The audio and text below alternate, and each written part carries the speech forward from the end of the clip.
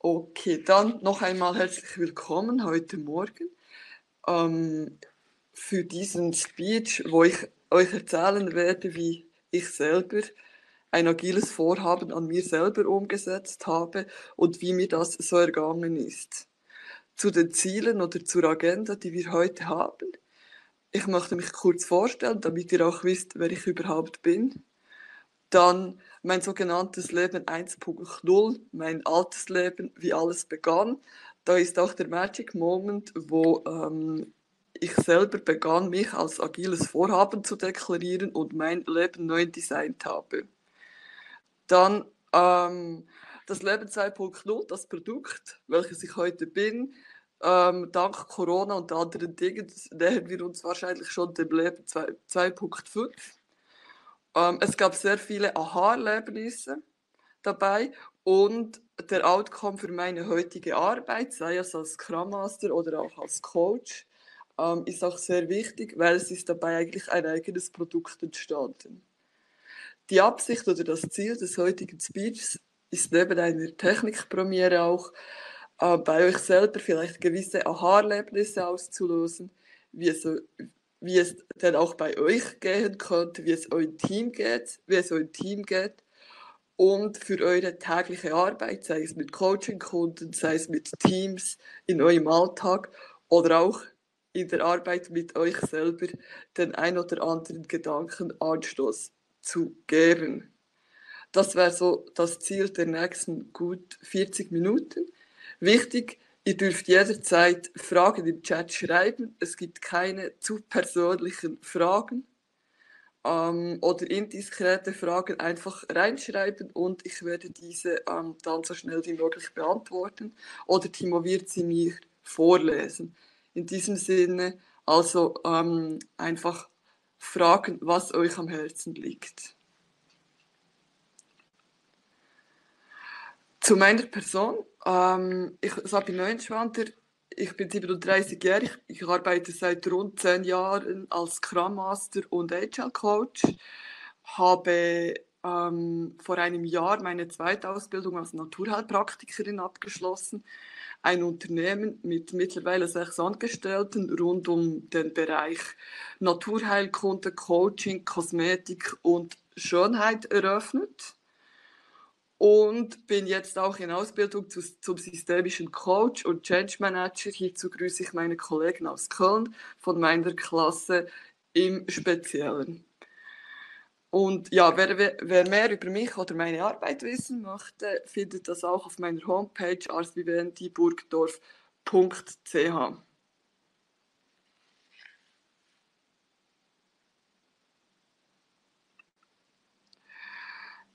Ähm, das, so, das berühmte Leben 1.0, das sind wir ungefähr im Sommer 2017.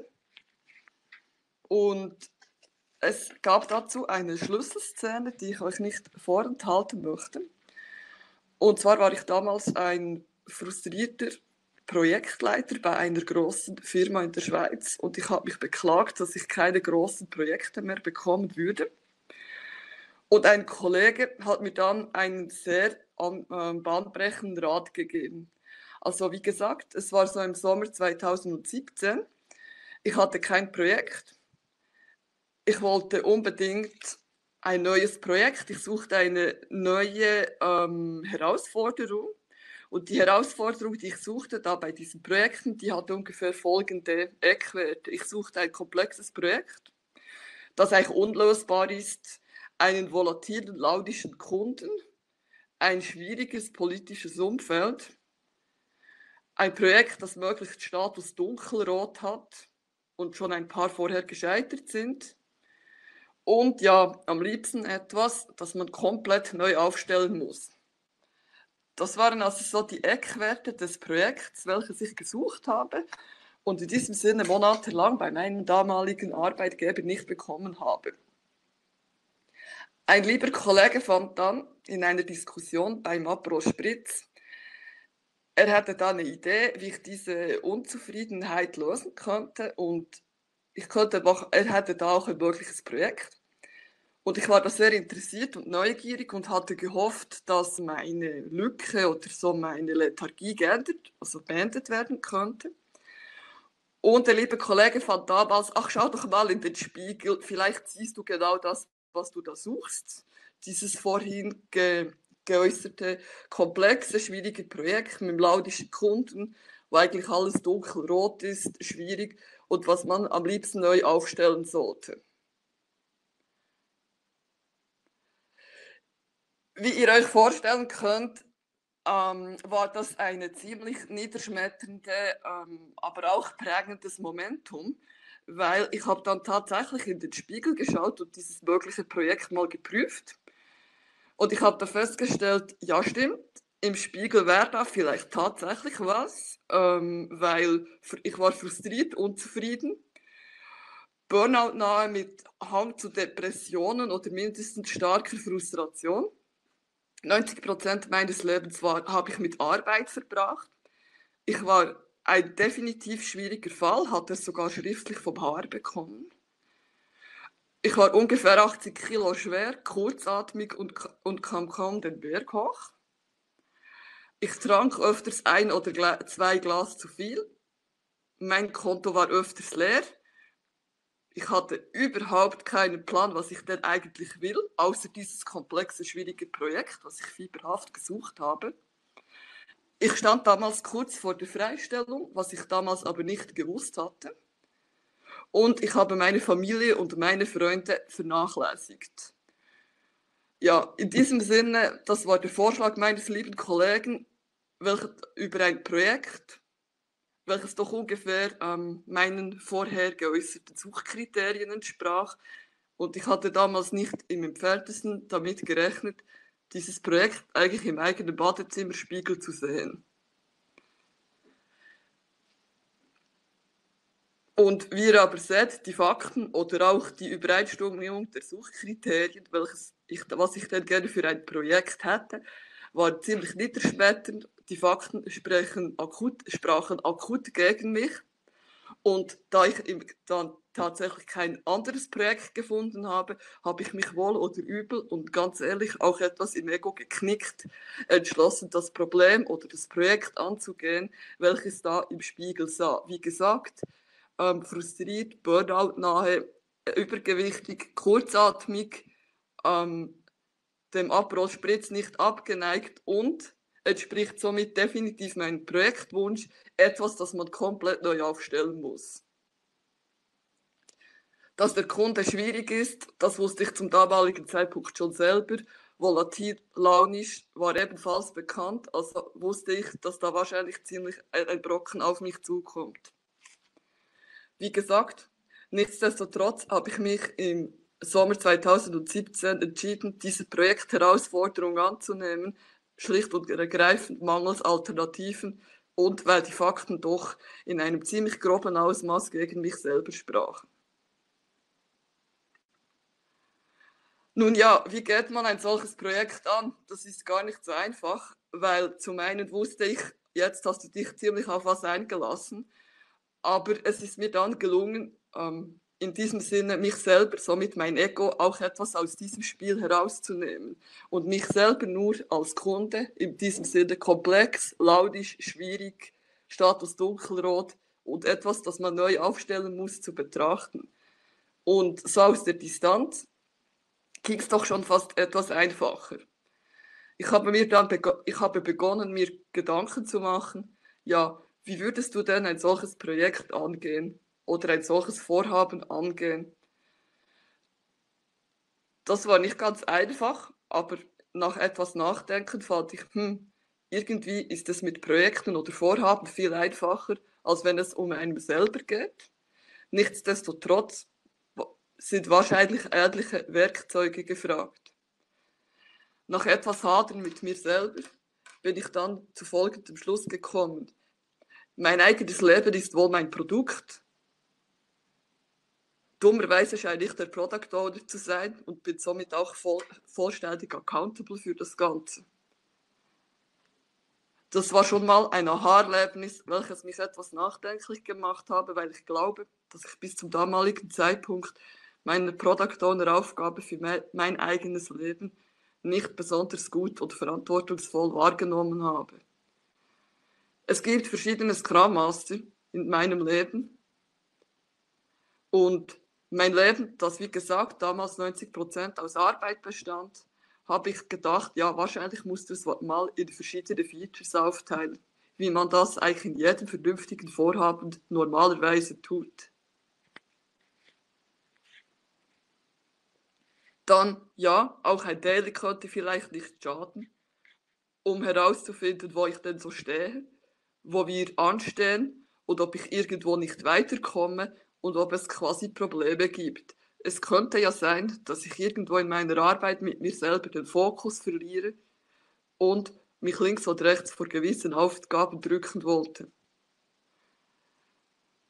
Am Sonntagabend gab es dann bei mir persönlich zukünftig Retro, Review und Planning, weil ich wissen musste oder wissen wollte, ob ich das, was ich in die, mir in dieser Woche vorgenommen habe, denn auch geschafft hätte wenn ich es nicht geschafft habe, wieso ich es nicht geschafft habe und auch einen Forecast für die nächste Woche zu machen. Meine persönliche Sprintlänge war somit eine Woche und Sonntagabend habe ich versucht, in den Spiegel zu schauen und festzustellen, wieso ich dann wieder ähm, an den Zielen vorbeigeschlittert bin. Die Ziele, wie gesagt, es gab da Sprintziele auf Wochenbasis, Quartalsziele und 2020 gibt es auch ein großes Ziel, welches ich Ende Jahr erfüllt haben möchte. Weiter ging es darum, wie ich denn das einigermaßen vernünftig transparent mache, weil trans ich habe recht schnell gemerkt, ja gut, wenn du das nur so im Kopf hast, sind die Ausreden schnell erfunden, messen wird noch schwieriger und irgendwie muss es wahrscheinlich auch aufs Papier oder transparent gemacht werden. Somit stellten sich auch gewisse Toolfragen und Messpunkte, wo ich noch später darauf eingehe.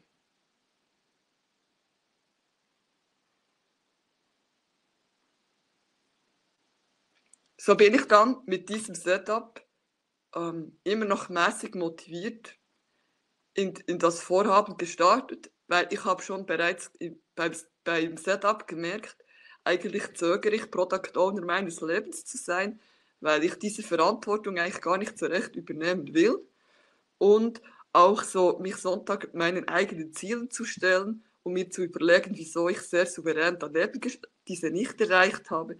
Die Begeisterung hielt sich in Grenzen.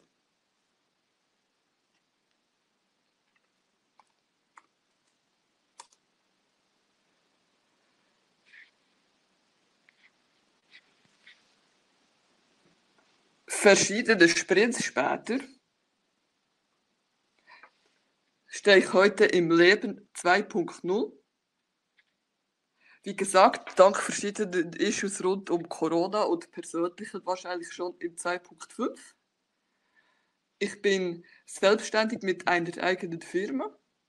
Ich habe sechs Angestellte im Stundenlohn ich mache einen mit, dieser, mit dieser Firma einen Umsatz von gut 20.000 Franken. Tendenz steigend bis Corona kommt. Da müssen wir wieder arbeiten, dass es auch wieder auf die Kurve kommt. Ich mache rund 60 Kilometer Sport pro Monat. Im März sind es sogar 80 geworden. Ich bin, mein Übergewicht ist weit weg. Ich bin bei 69 Kilo. Ich laufe, ich ging wöchentlich zur Sauna und ins Bad. Und ich bin sehr glücklich, mittlerweile eine, eigen, eine sehr enge Beziehung zu Freunden und Familie zu haben. Und mittlerweile arbeite ich auch an einem großen Jahresziel 2020, weil sich jetzt leider wahrscheinlich etwas verzögern möchte. Wie, also verzögern wird, weil sich halt auch da, wegen Corona lag halt bei mir das ein oder andere verändert hat.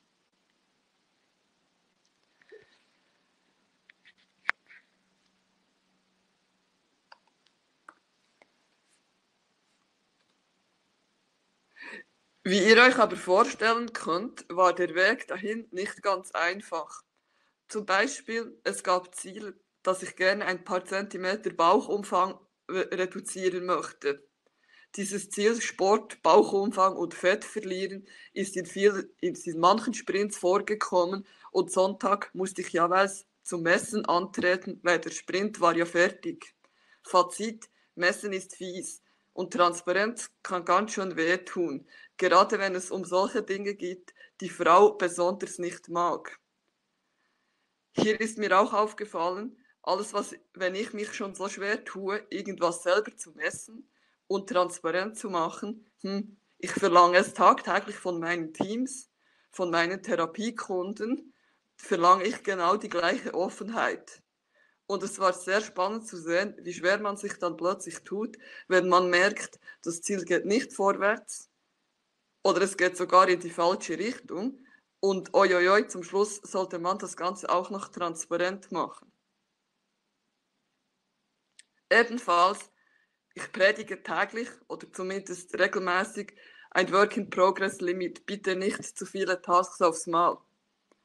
Neunschwander hat in den persönlichen Sprints regelmäßig irgendwie zehn Tasks gleichzeitig abgearbeitet, wollte auf nichts verzichten und, schon, und ist dabei regelmäßig in die Falle gegangen, dass am Sonntagabend nichts fertig war. Fazit, Work-in-Progress-Limit ist doof, wenn es einem selbst betrifft Trotzdem predige ich es häufig und immer noch in meinen Teams und auch mit meinen persönlichen Therapiekunden. Ein weiteres Fazit, Hilfe, es geht mir viel zu schnell. Wie ihr seht, der Change vom Problem, übergewichtig, kurzatmig, ähm, zum doch recht erfolgreichen Selbstständigen ging relativ schnell. Meine Lehrkurve war sehr, war sehr steil und zwischendurch kam ich emotional nicht mehr hinterher. Ein Gedanke, den wir vielleicht, wenn wir agile Teams oder agile Vorhaben coachen, auch gerne mal im Hinterkopf behalten möchten. Vielleicht geht es ja nicht nur uns selber so, sondern auch unseren Teams, unseren Coaches. Wieso sollten sie anders funktionieren als wir selber? Zumindest mein Verständnis ist seither sehr stark gewachsen, gerade auch bei Kunden in der Therapie und in Reorganisation und Changes, weil man kann ganz schön und schnell überfordert sein. Ein weiterer Punkt, der mir sehr schnell aufgefallen ist, ich mag nicht mehr, ich bin lernmüde.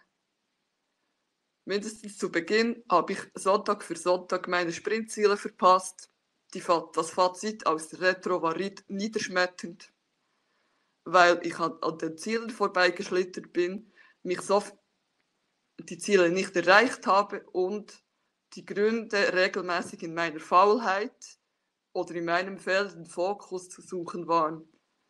Und Sonntag für Sonntag musste ich mir eingestehen, dass ich noch sehr viel lernen müsse oder dürfte, damit ich hier auf Kurs kam. Und manchmal, ganz ehrlich, mag man nicht mehr lernen. Oder vielleicht auch mal eine Woche Lernpause haben. Es könnte aber auch sein, dass es Themen gibt, mit denen man sich schwer tut, aus persönlichen oder inhaltlichen Gründen, und die zwar vielleicht offensichtlich sind, aber trotzdem etwas mehr Zeit brauchen. Nun, ja, ein Gedanke, den ich dann an so manche Retro mitgenommen habe, weil wahrscheinlich könnte es auch bei meinem Team so gehen, dass gewisse Dinge ihnen einfach zu schnell gehen und dass sie lernmüde sind und dass sie nicht an jedem Sprintende gewisse Themen kauen müssen. Ein weiteres Aha-Erlebnis, welches mich sehr geprägt hat. Dann eine Frage kurz von Simone.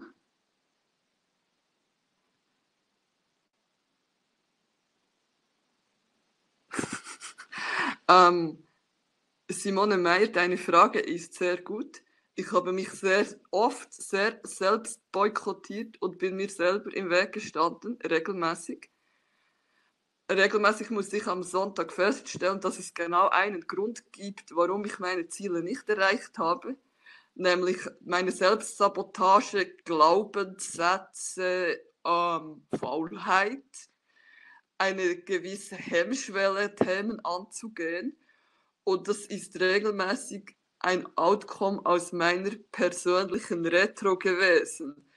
Und der Outcome aus der Retro muss man zuerst setzen lassen und sich dann mit sich selber in sich gehen, was man denn dagegen tun möchte und könnte. Also was hilft dagegen? Die Konfrontation mit dieser Tatsache. Und ein bewusstes In sich gehen.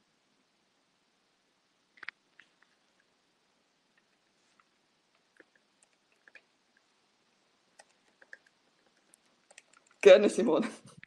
Auch wenn die Antwort wahrscheinlich wenig motivierend war, aber ist leider so oder war leider so. Ich warte noch kurz auf eine weitere Frage oder einen Text.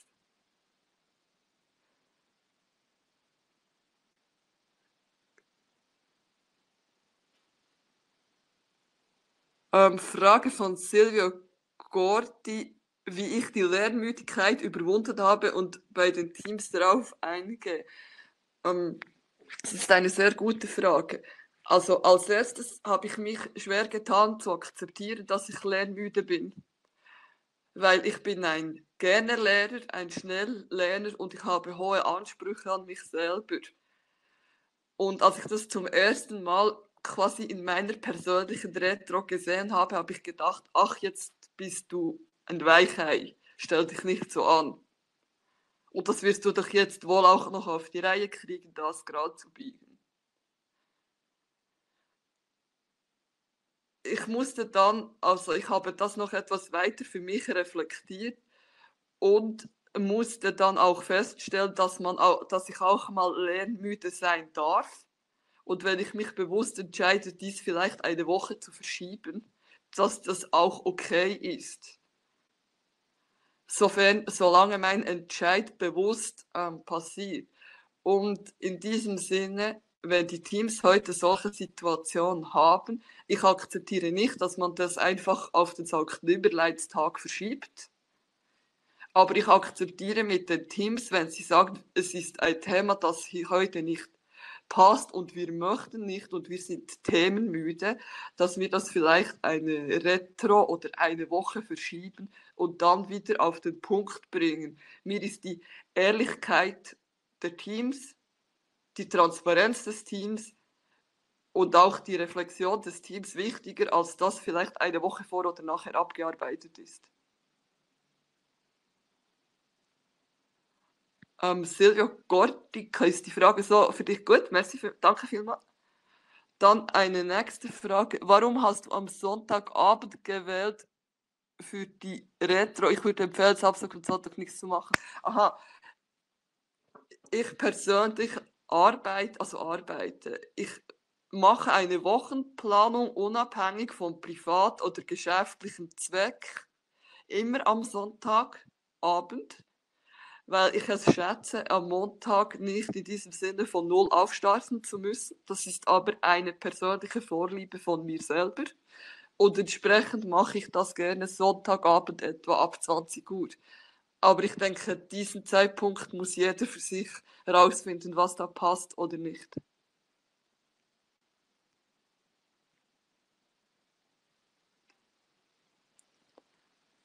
Gut, dann würde ich sonst mal weitergehen. Wenn Fragen sind, einfach reinchatten. Ich sehe sie meistens relativ schnell.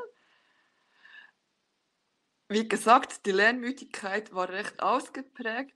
Und zum nächsten Punkt, ganz wichtig, ich brauche einen Schuldigen. Ähm, ich habe dann weiter regelmäßig festgestellt, wie gesagt, Ziele nicht erreicht, Sport nicht gemacht oder andere Dinge nicht besucht. Und die Gründe waren da vielfältig, Überstunden auf Arbeit oder ein spontaner Besuch zu Hause. Und Ausreden habe ich eigentlich sehr viele gefunden, musste dann aber feststellen, dass ich selber ja diese Entscheidungen gefällt habe.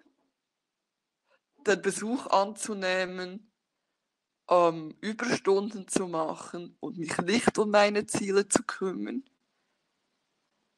auf dem Sofa liegen zu bleiben und nicht zum Sport zu gehen, habe auch ich entschieden. Und das ist ganz schön doof. ich habe dann auch gedacht, ja, ich habe ja mich noch mit Kollegen via Zoom unterhalten, Socializing betrieben.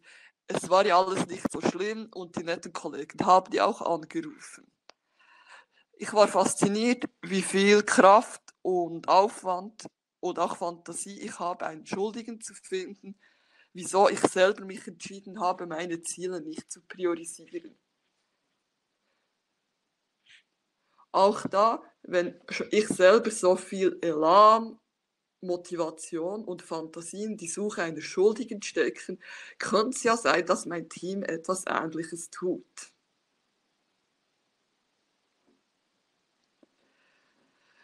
Geht gerade nahtlos über zum nächsten Punkt. Bei anderen macht das viel mehr Spaß.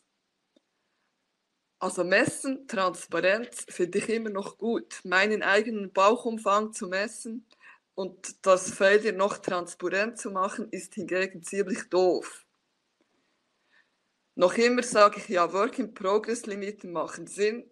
Ich verstoße immer noch regelmäßig dagegen.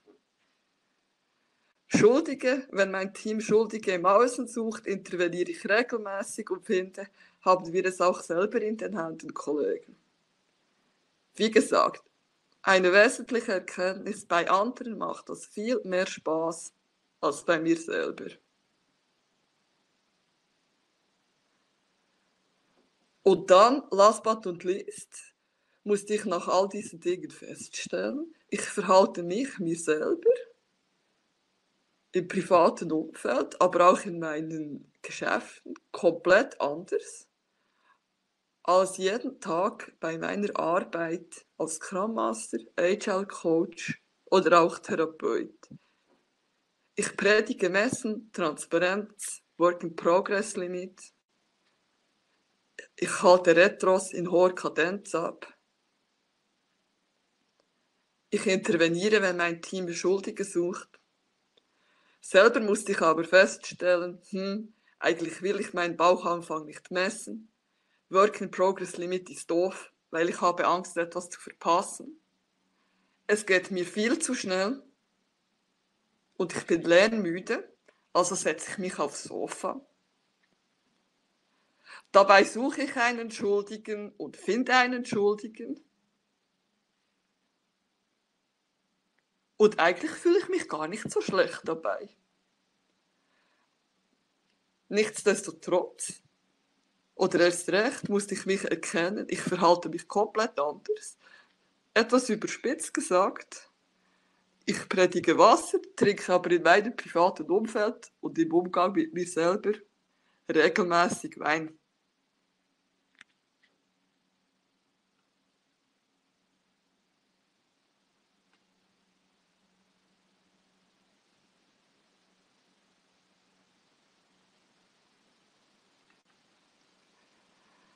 Der Outcome aus diesem Ergebnis oder auch aus diesem Prozess, den sehr vielen zum Teil äußerst schmerzhaften oder ähm, unangenehmen Aha-Erlebnissen, ist nun Privatpersonen, die ich in meiner Praxis begleite, sei es im Coaching, aber auch in der, in der Therapie, profitieren neben agilen Teams ebenfalls von diesen Erkenntnissen. Ich arbeite mit Personen, die in Lebenskrisen stecken, nun auch in Sprints. Die Personen veranstalten ihre persönliche Retro und wir schauen, weshalb und wieso wir potenziell vom Plan abgewichen sind. Sei es, um Lebenskrisen zu überwinden, Rückenschmerzen loszuwerden, keine Migräne mehr zu haben oder auch etwas Gewicht zu verlieren. Diese Personen haben meist keine Ahnung, was ein agiles Vorhaben ist. Die wissen nicht, dass es agile Organisationen gibt. Und auch was Sprints oder Retros sind, ist ihnen eigentlich ziemlich egal. Fazit ist jedoch, die Personen kommen gut voran es sind Personen, die zum Teil jahrelang in persönlich extrem schweren Lebenssituationen stecken.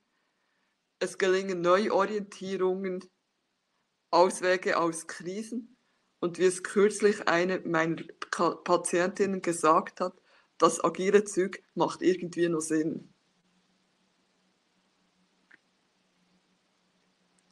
Nebenbei ist es natürlich für mich auch sehr wichtig und wichtig gewesen, am eigenen Leibe und Geist zu erfahren, wie es sich denn anfühlt, diese Werte, Transparenz, Lernfähigkeit, Anpassungsfähigkeit zu erleben, weil ich habe seither, wie gesagt, viel mehr Verständnis für Reaktionen meiner Teams, von Gruppen, wo ich vielleicht nicht nur offene Türen einrenne.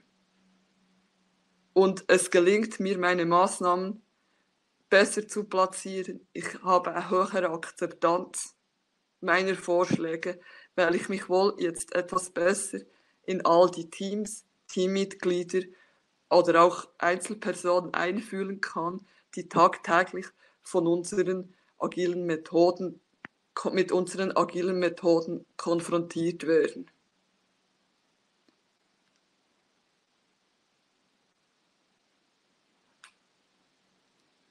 Das wäre es in diesem Sinne jetzt auch schon von meiner Seite für den Moment gewesen. Wenn ihr Fragen habt oder so, wäre ich froh und dankbar, wenn ihr diese in den Chat schreibt. Und wir sind jetzt nämlich etwas schneller durch das durchgegangen oder vorwärts gekommen, als ich mir gedacht habe. Aber in diesem Sinne für Fragen oder auch Rückfragen zu den einzelnen Punkten weil es vielleicht schnell oder zu schnell gegangen ist, sehr gerne.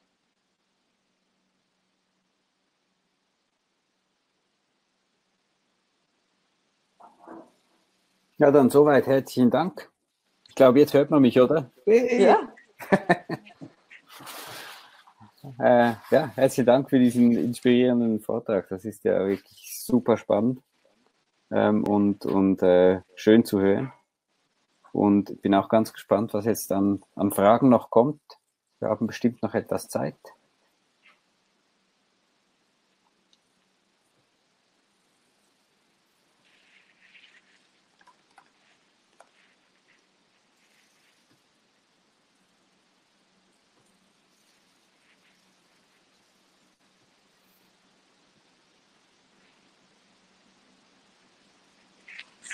Ähm, die Frage, hast du die Sprints schriftlich festgehalten und mit Tasks geplant? Ja, habe ich. Ähm, zuerst mit Post-it. Dann habe ich aber gemerkt, aus den Augen, aus dem Sinn, wenn ich dann nicht zu Hause bin, ignoriere oder vergesse ich gerne, was ich mir dann vorgenommen habe. Und somit wurden die Tasks in ein Wanderlist geschrieben. Und somit konnte ich am Sonntag auch sehr transparent feststellen, was dann geklappt hat und was nicht und ich habe es auch jederzeit auf meinem Mobile dabei gehabt und konnte mich nicht so einfach davor drücken. In Wanderlist ist auch mein Backlog von Tasks, welches ich jeweils am Sonntag geschaut habe, welche ich dann rauspicke, aufgrund meiner Zeit, meiner Schwerpunkte und auch meiner Agenda der Folgewoche.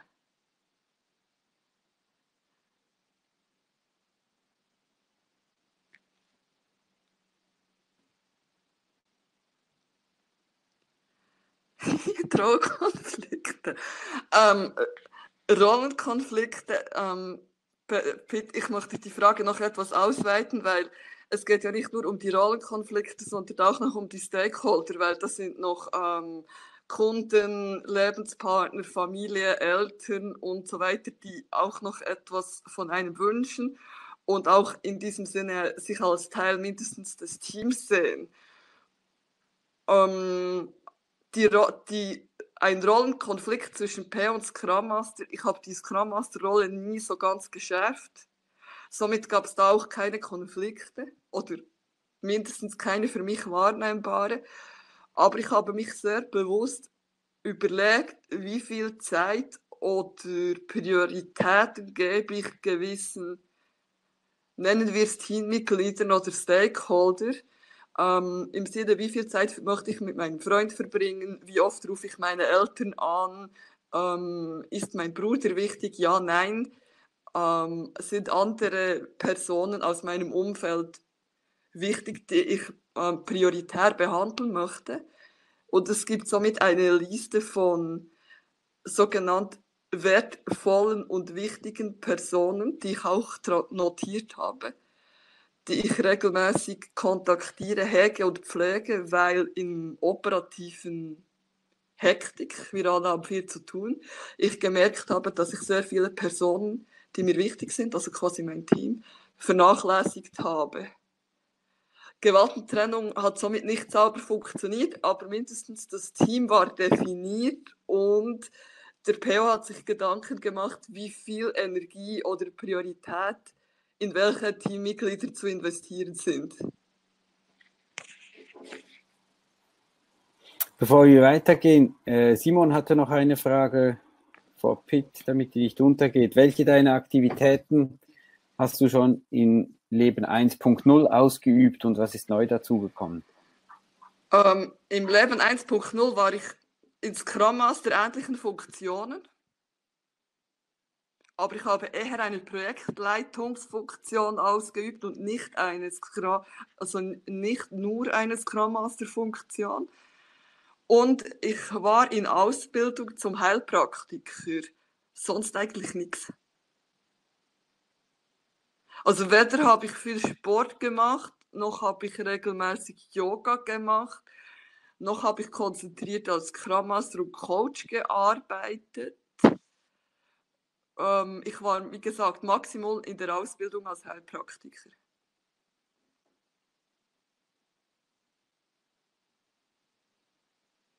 Simon, passt das so?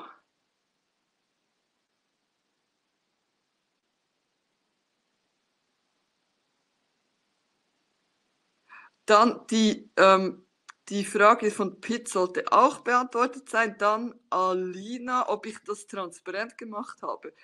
Hm. Transparenz ist dann vor allem bei anderen cool. Ich muss zugeben, dass ich diese Aktivitäten über ein halbes Jahr vor meiner Familie und auch vor meinem Freund verschwiegen habe und mich erst dann getraut habe, dies transparent zu machen. Ich habe das nur, ich habe diese Transparenz ausschließlich mit sehr guten Freundinnen und einem sehr guten Freund geteilt, habe mich aber zu Beginn weder getraut, dies mit Familie und Freund zu teilen. Auch eine spannende Erkenntnis zum Thema Transparenz übrigens. Mittlerweile tue ich das, es hängt bei mir in der Wohnstube für alle einsichtlich an der Wand.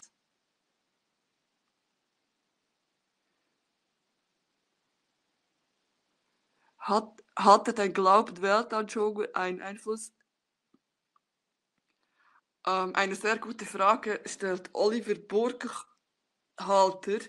Ähm, mein Glauben oder meine Weltanschauung hatte vor allem einen großen Einfluss, hat einen sehr großen Einfluss und wie ich geschrieben habe, ich galt, ich hatte es ja sogar schriftlich, als problembehaftet und sogenannt schwieriger Fall. Und weil ich das zum einen geglaubt hatte und somit die Welt zum damaligen Zeitpunkt für mich auch eher böse war, ähm, war meine generelle Weltanschauung oder auch meine Einstellung im Leben 1.0 eher negativ. Und ich habe häufig in den Retros gemerkt, dass ich nicht vorwärts komme, weil irgendein Glaubenssatz im Sinne von alle Manager meinen es böse mit mir oder irgend sowas mir im Weg steht. dass ich musste haufenweise Glaubenssätze, Wertvorstellungen über den Haufen kippen, damit ich überhaupt im Leben 2.0 angekommen bin. Der Mindset Change ist gewaltig. Die Personen, die mich quasi aus dem alten Leben kennen, können das bestätigen. Und ich selber erkenne mich eigentlich gar nicht wieder. Also ich habe vorher primär in Probleme, Scheitern und Negativität gedacht, währenddessen mein Himmel heute eigentlich fast nur noch voller Geigen und Chancen hängt.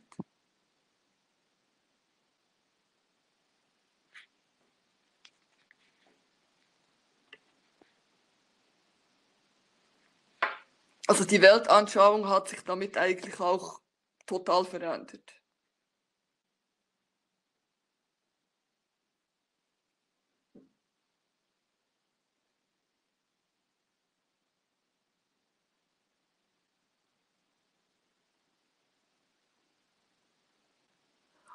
Eine sehr gute Frage stellt auch Andreas Rhein. Ähm, also ich persönlich habe, ha, ich hatte eine Differenz zwischen Beruf und Privatleben im Sinne von Wasser predigen und Wein trinken und auch zwischen mir und anderen, weil beispielsweise in Therapiesitzungen habe ich ja mindestens unbewusst von meinen Kunden erwartet, dass sie ihre ganzen Probleme wirklich auch transparent auf den Tisch legen, damit ich sinnvolle Therapiestrategien machen kann. Ist aber, wenn man da plötzlich selber vielleicht über ähm, psychische Themen, Beziehungsthemen oder auch andere heikle Dinge sprechen sollte, habe ich gemerkt, dass das ziemlich schwer sein kann. Und ich wahrscheinlich in umgekehrten Rollen, also wenn ich zum Coach oder Naturheilpraktiker gehe, auch nicht alles auf den Tisch legen würde. Und zum einen habe ich somit ein besseres Verständnis für meine Kunden. Zum anderen habe ich immer gesagt, alles, was ich von meinen Kunden erwarte, erwarte ich ab jetzt auch von mir selber. Und es ist mir recht schwer gefallen, diese Hürde zu nehmen, und, um eben auch ähm, vor allem transparent und offen über gewisse Themen sprechen zu können. Also der Wasserpredigen und Weintrinkgraben zwischen mir und anderen war ebenfalls recht groß. Und interessanterweise auch unbewusst zu Beginn.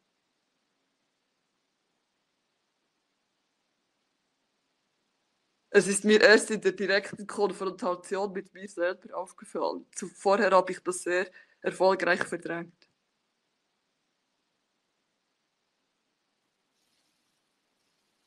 Damit bist du sozusagen dein eigener Coach geworden, oder? Ja. Hast du auch externe Unterstützung? Externes Coaching? Ähm, nicht in diesem off Sinne offizielles Coaching, dass ich jemanden beauftragt hätte, aber ich habe das Glück, in meinem näheren Umfeld sehr gewisse Personen mit ähm, Coaching oder Führungshintergrund zu haben, die, ähm, die mich sehr gut begleitet haben und denen ich auch sehr ähm, vertraue und denen es auch immer gelungen ist, in gewissen Situationen die richtigen Punkte zu drücken, auch wenn ich sie dafür nicht immer geliebt habe. gehört dazu auch der Kollege, der ganz am Anfang dir den Hinweis gegeben hat, doch vielleicht mal im, im Spiegel nach einem tollen neuen Projekt zu suchen? Nein, der weiß noch heute nichts von dem, was er hier angerichtet hat. Was? Skandal. Nein, in, in, in diesem Sinne ähm, zu dieser Person habe ich leider keinen Kontakt mehr und ähm, nichtsdestotrotz bin ich sehr dankbar. Ähm, wenn du ein Chatsheet, welche sind die wichtigsten drei bis fünf Learnings? Oh, guter Punkt, ein Chatsheet machen. Ähm, gute Frage, Silvia Gorti. Also mein also ich werde eines erstellen, das ist ein guter Punkt, danke für den Input. Ähm, ich glaube, das wesentlichste Learning war oder am meisten gebracht hat mir, dass ich von meinen Kunden, egal ob in Therapie, Coaching oder von einem agilen Team, dass ich alles, was ich von diesen Stellen erwarte, auch selber vorleben sollte, tun sollte oder auch bewusst machen sollte. Und ich habe gemerkt, dass ich das bei weitem nicht bin oder war. Und die Zusammenarbeit in jeder Form hat sich merklich verbessert. Oder ich bin erfolgreicher geworden, seit ich sage, alles, was ich den ganzen Tag möchte, einfordere, sollte ich auch selber vorleben. Und das gibt eine gewisse Augenhöhe und Nähe, die sehr, sehr, sehr hilfreich war. Aber, und ich werde das Chat-Sheet zur Verfügung stellen, wenn ich es geschrieben habe.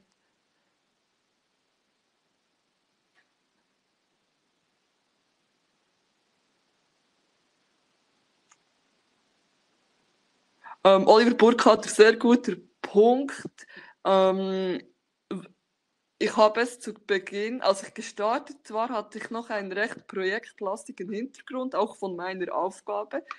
Nun ja, aber gerade im Leben, im eigenen, aber auch sonst sieht es aus, wie wir nie ausgelernt hätten.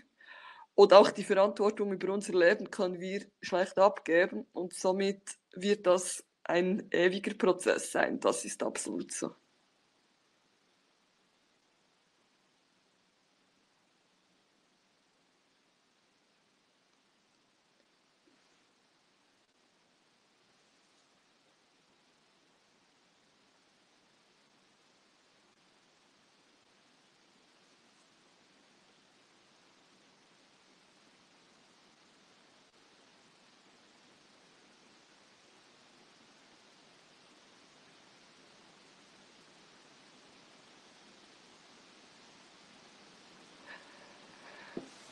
Wie es dazu gekommen ist, dass ich mich selbstständig gemacht habe, ähm, da gab es zweierlei Dinge. Also die Praxis für Naturheilkunde, das liegt quasi, liegt quasi in Natur der Sache, damit, dass man sich da grosso modo selbstständig bewegt. Zum, zur Selbstständigkeit als Coach bin ich ähm, wie die Jungfrau zum Kind gekommen. Ich habe vorhin erwähnt, ich wurde damals dann freigestellt. Ich habe sieben Monate nicht gearbeitet. Ich habe diese Zeit aber genutzt, mehr oder weniger freiwillig, um herauszufinden, was mir denn wichtig ist und was nicht, weil vorher habe ich ja nur gearbeitet und nie reflektiert. Und da ist auch der Gedanke oder der Punkt prominent geworden, dass ich gerne mehr Freiraum und Gestaltungsspielraum hätte. Ich bin dann ähm, in einem Zufall oder Fügung des Glücks habe ich eine Aufgabe oder ein Mandat als Freelancer gefunden und bin somit quasi über Nacht vom Arbeitslosen zum selbstständigen Freelancer mutiert und habe das Glück, dies auch heute zu tun. Also eine Mischung, wie, wie ist es dazu gekommen, dass ich mich selbstständig gemacht habe? Einerseits lag es in der Natur der Sache vom Heilpraktiker, aber auch die glückliche Fügung, Zufall oder wie es wir auch immer nennen wollen, dass ich nach sieben Monaten Freistellung wusste, dass ich anders arbeiten möchte und eine sehr passende Aufgabe mich gefunden hat oder auch sie, ich sie gefunden hat, habe.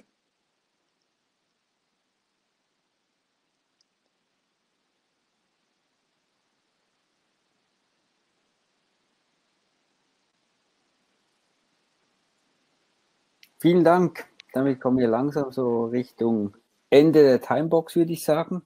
Ähm, gibt es noch eine allerletzte Frage? Ansonsten ähm, ganz herzlichen Dank für, für äh, diese tollen Einblicke. Es war wirklich höchst spannend und inspirierend. Vielleicht müsste man mal mit sich selbst ein wenig strenger ins Gericht gehen. Aber ich äh, morgen dann.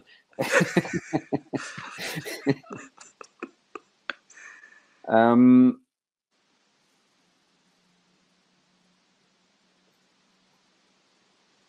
Simon hört mich nicht.